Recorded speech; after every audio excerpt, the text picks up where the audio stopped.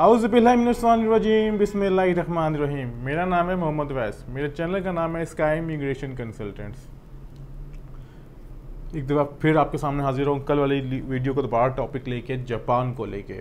जैसा कि आपने जिन लोगों ने मेरी वीडियोस देखी थी कि उसमें पता होगा कि मैंने कहा था कि जापान से रेलिवेंट अभी मेरे पास अथेंटिक इन्फॉर्मेशन नहीं है, जिसकी वजह से अभी हम लोग उसकी फ़ाइल प्रिपरेशन के सर्विसेज़ की आगाज़ नहीं किया।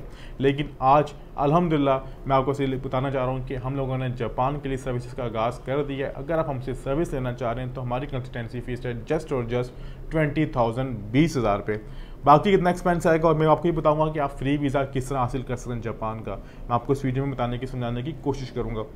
बात तो आप सब कुछ एक समझ लें कि हमारी फ़ीस है ट्वेंटी थाउज़ेंड फ़ाइल प्रिपरेशन की, जापान की अपॉइंटमेंट किस तरह लेनी होगी, कितनी वैसे में फ़ीस पे करनी होगी, क्या क्राइटेरिया होगा क्या क्या डॉक्यूमेंटेशन रिक्वायर्ड होंगे, मैं आपको सब कुछ वीडियो में बताने की, समझाने की कोशिश करूँगा।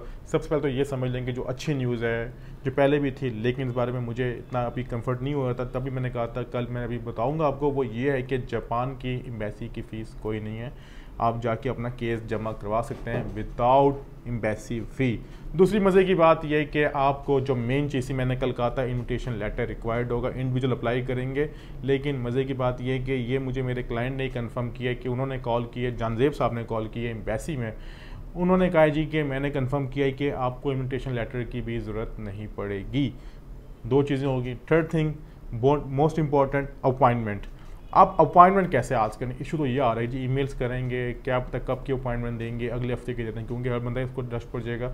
मज़े की बात यह है कि इसमें अपॉइंटमेंट आपको लेने की ज़रूरत ही नहीं पड़ेगी। जैसा कि जिसने मेरी वीडियो कल देखी, मैंने कहा था कि नौ से ग्यारह टाइमिंग है, जो वेबसाइट पर आ रहा है, लेकिन मुझे कन्फर्म नहीं है। वही चीज़ कन्फर्म होगी है कि नौ से ग्यारह आप वॉक इन जाके अपना पासपोर्ट सबमिट कर सकते हैं without embassy fee without invitation letter लेकिन डॉक्यूमेंटेशन वही रिक्वायर्ड होंगे जो नॉर्मली आपको होते हैं। F R C business job documents F salary documents tax documents chamber documents जो भी आपका normally insurance hotel ticket X Y Z आपको सब कुछ देने पड़ेंगे। अब ये आता है सवाल कि इसमें वीज़ा फ्री किस तरह होता है?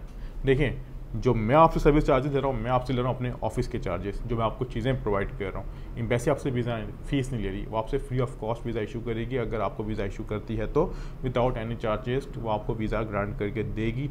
अब दूसरी बात यह कि ऑब्वियसली स्टिकर वीज़ा ही होगा ई वीज़ा तो नहीं होगा। क्योंकि साउथ कोरिया ने ई वीज़ा स्टार्ट किया हुआ है, लेकिन जापान का इस वक्त स्टिकर वीज़ा ही है।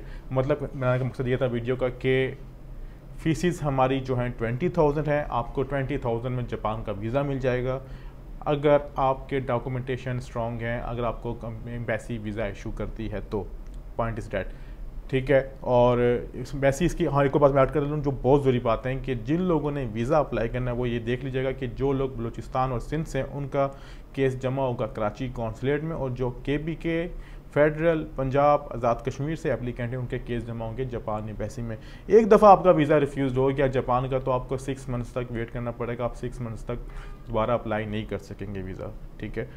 तो ये थी आज की इन्फॉर्मेशन जापान से रिलेटेड उम्मीद करता हूँ कि सारी इन्फॉर्मेशन क्लियर हो चुकी होगी। अगर हमसे सर्विस लेना चाह रहे हैं तो हमसे जो हमारे उसके आपके स्क्रीन पर विजिटिंग कार्ड चल रहा है। मैं नंबर भी रिपीट करते चलूँ। Zero three four seven zero five zero five two three six ये मेरा पर्सनल नंबर है। सेकंड नंबर ऑफ़िस का है।